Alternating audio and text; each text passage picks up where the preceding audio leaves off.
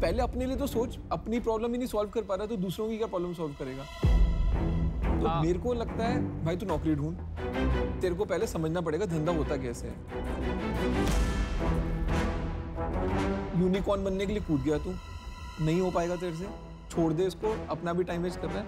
हाँ ये बात मैं मानूँगा ये स्क्रीन तेरे आने से पहले वो द हाईलाइट उसके बाद से सब डाउन हिल गया है।